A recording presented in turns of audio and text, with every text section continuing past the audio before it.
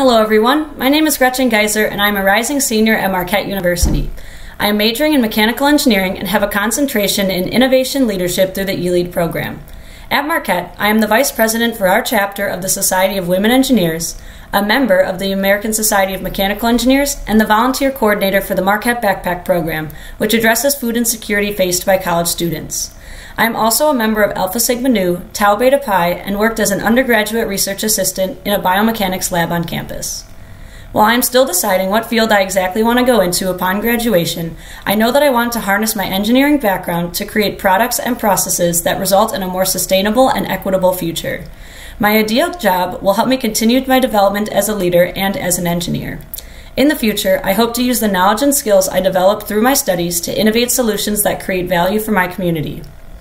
I am very interested in applying what I have learned at Marquette, both in my coursework and through the Jesuit idea of cura personalis, or care of the whole person, to further my career in the STEM field.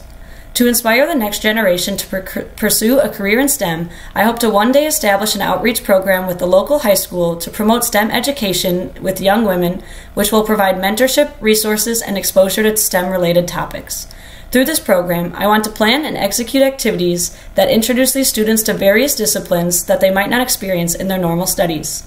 This will open opportunities for question and hopefully inspire them to explore STEM careers in the future. I became interested in a STEM career through my involvement in math and science courses in high school.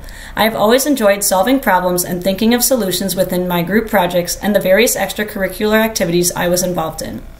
I also explored engineering by attending an engineering leadership camp at Marquette University my junior year of high school. This introduced me to engineering topics and disciplines that I had not known of before. I also enjoyed talking with my relatives and family friends who worked in STEM and ultimately decided on mechanical because of the broad coursework I would take. I am excited to continue to develop as an engineer and explore future career paths. To me, winning this scholarship means I can continue to follow my dreams and vision to see equal representation of women in the STEM field. I have thoroughly enjoyed the outreach work I have partaken in with my SWE chapter and hope to continue this upon graduation. I want to conclude with a big thank you to the sponsors that make this scholarship possible. I'm honored to be a recipient and hope to continue to share my passion for STEM with those around me. Thank you.